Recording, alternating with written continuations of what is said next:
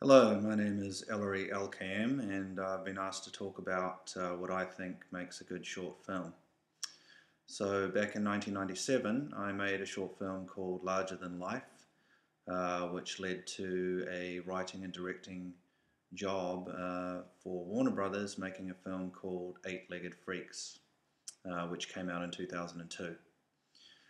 So back in 1997 uh, when I was looking around uh, for film idea for uh, a short film. I decided uh, I wanted to make a genre film uh, as opposed to a, a personal story.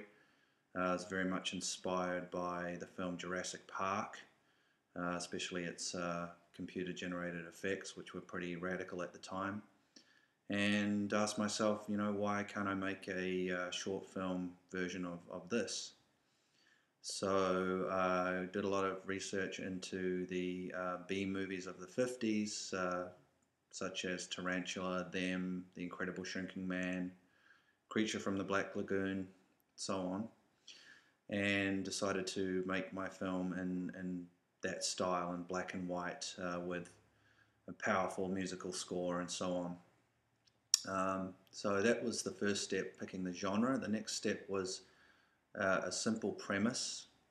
So I came up with the idea of a, a woman who just uh, bought a new house and on her own and uh, has a spider problem which escalates until she has to do battle with a giant spider at the end. Uh, so I think a very simple premise also uh, helped a lot. A lot of suspense and uh, very little dialogue, which I think helps the uh, film travel. Um, the other thing I was conscious of was uh, having a three act structure like any Shakespearean play or modern screenplay uh, does uh, beginning, middle, and end, uh, setup, second act, uh, climax, and resolution. And uh, I think that also you know helped the film.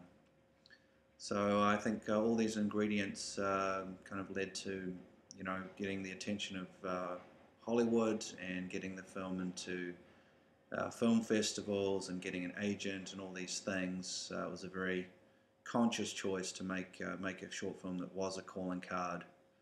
Uh, after having made quite a few short films beforehand, uh, this was sort of the film that I, you know, sort of modeled modeled off of a Hollywood of Hollywood.